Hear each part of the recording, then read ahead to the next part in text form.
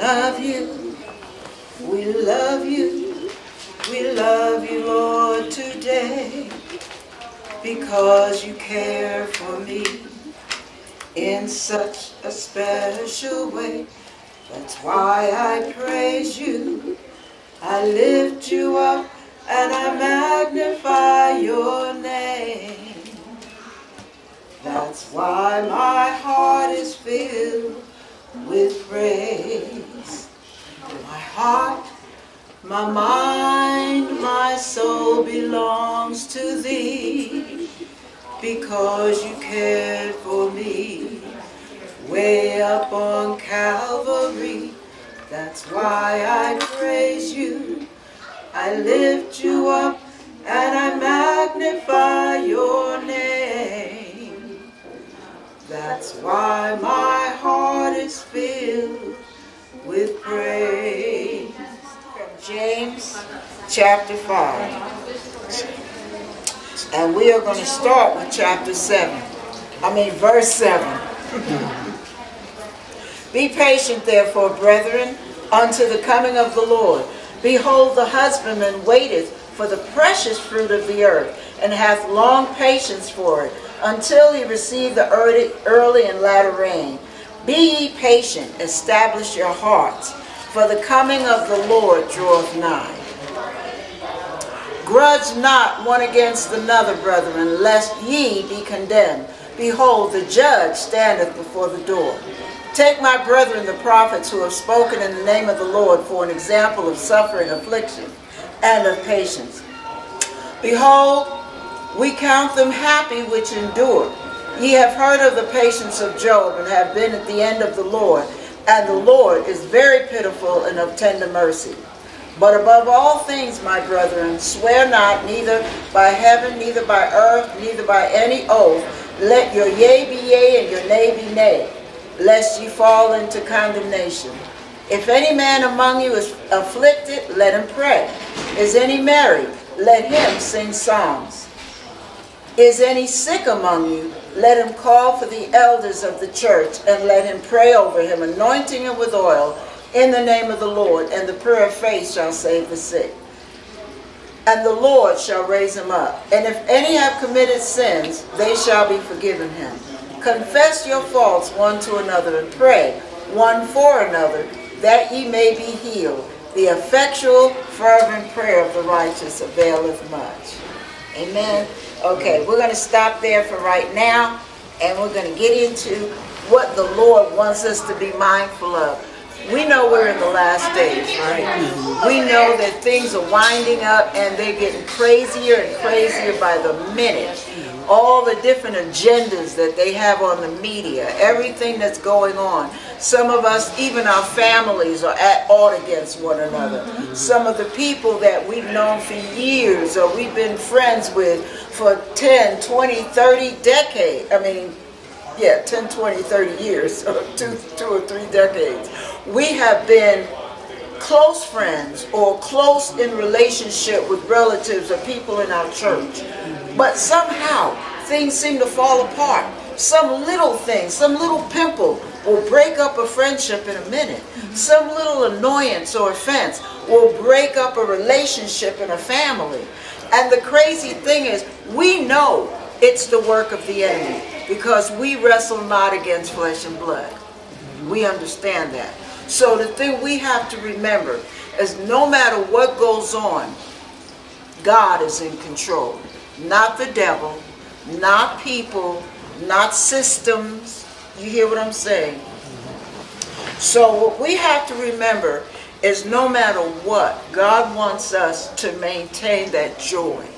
And we know the Bible says the presence in the presence of the Lord there is joy. We know that there is strength in his presence.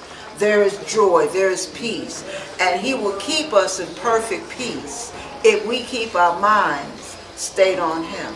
So knowing that no matter what comes to ruffle our feathers, no matter what comes to rattle our cage, no matter what threats come from the enemy, threats against our health, threats against our life, against our circumstances, no matter what, we know if we are in Christ and Christ is in us, we have the favor of God. God is for us, not against us. So we can always hold our head up high. And when Satan tries to accuse you, when Satan tries to discourage you, when the powers that be try to bring your spirits down, you remind Satan of the end of the story. You remind him of who the real victor is. And if you're in Christ, you are victorious as well. So know that God's love will cover you. God's love covers the multitude of sin. And we know that we have an advocate on our side. What's his name? Jesus Christ. That's right. We know that. So we know that whatever comes down the pipe, we don't have to panic.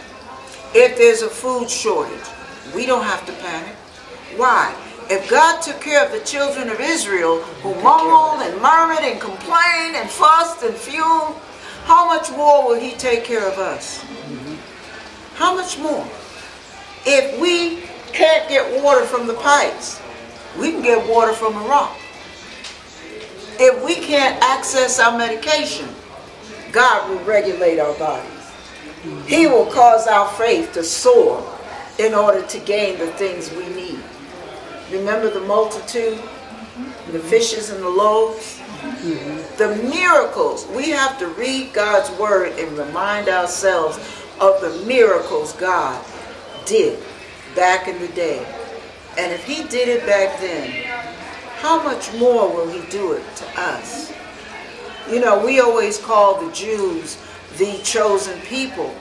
But what really was going on was God chose a man.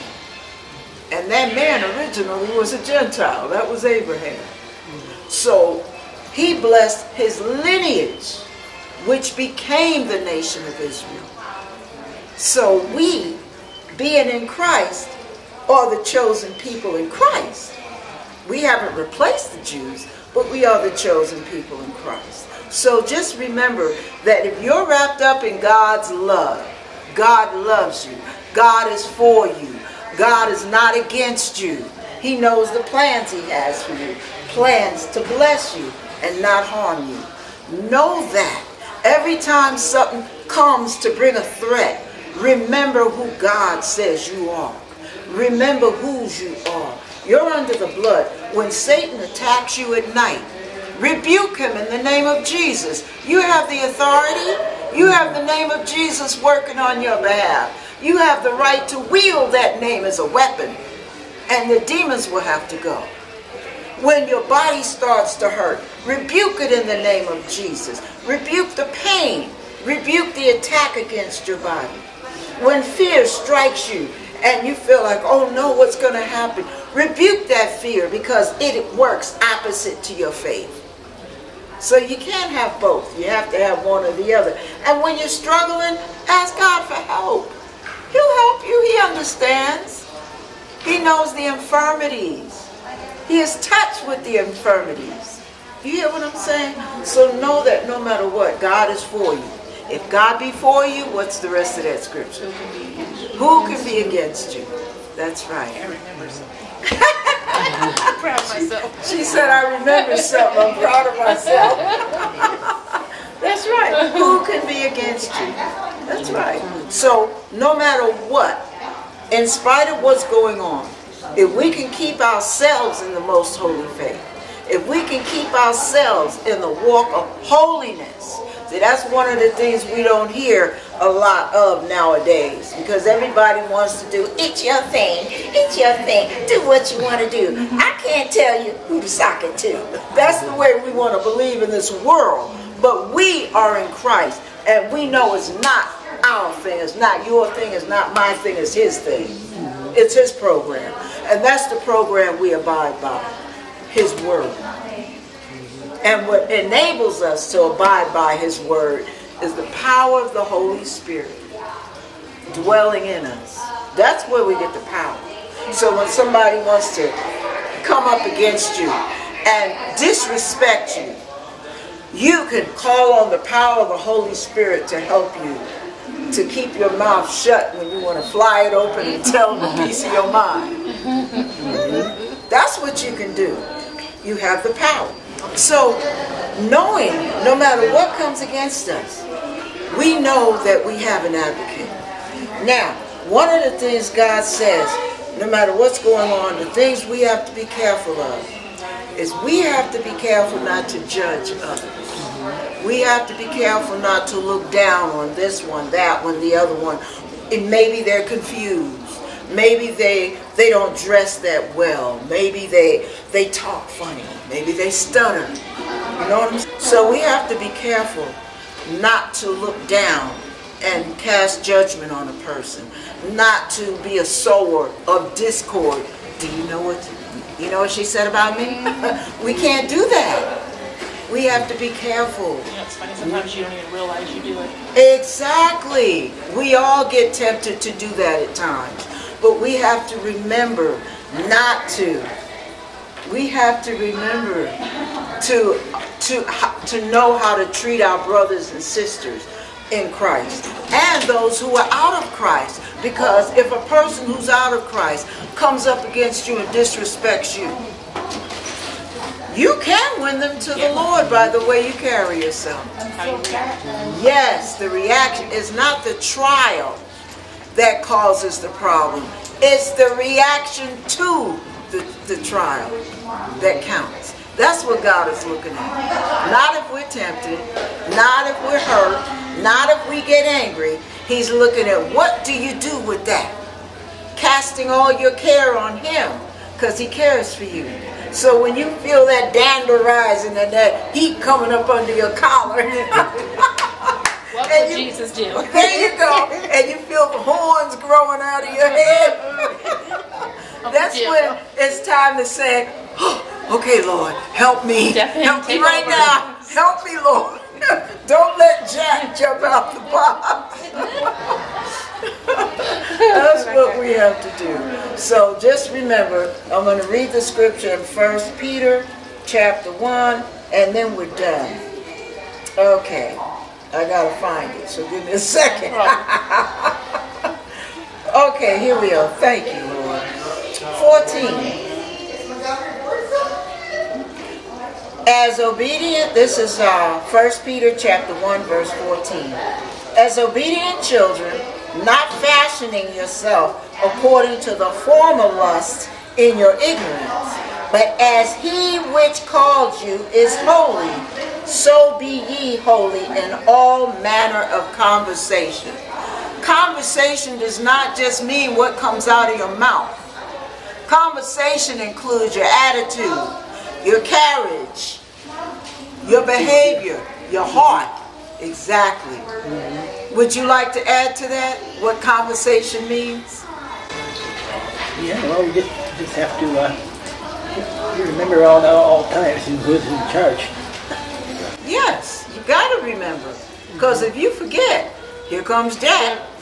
Yep, really fast We know, we know we're ready, really always know we're ready if we're going to run around too, you know, Right. before we even think about doing it. Exactly.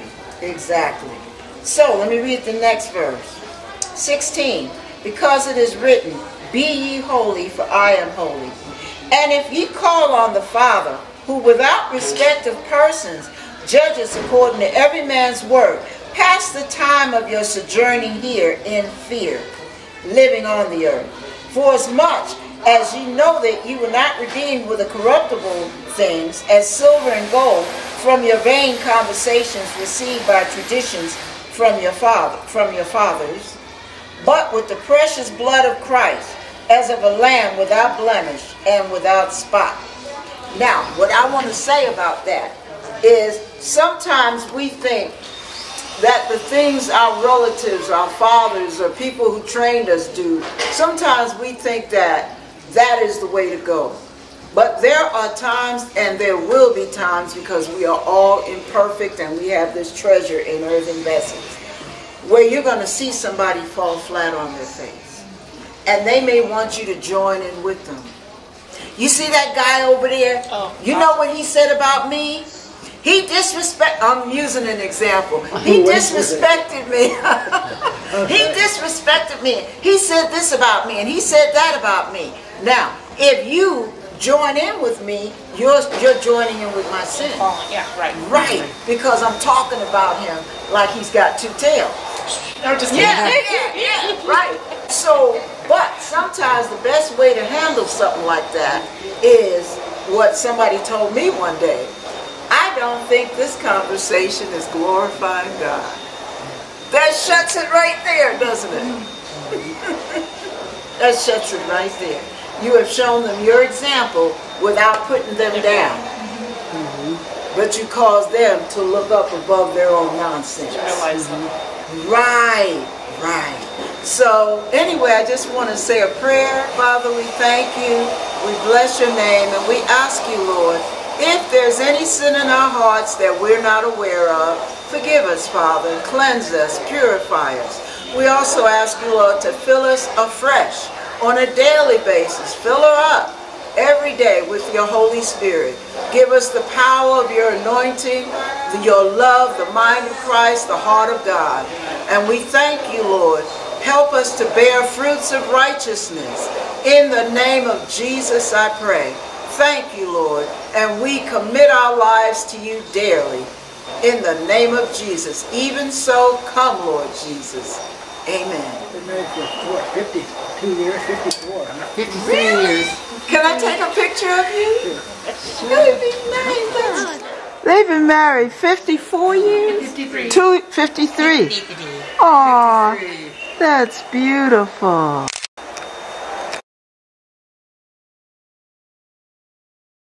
So say hi. Yes. Hi, Yes. Tita. I love it.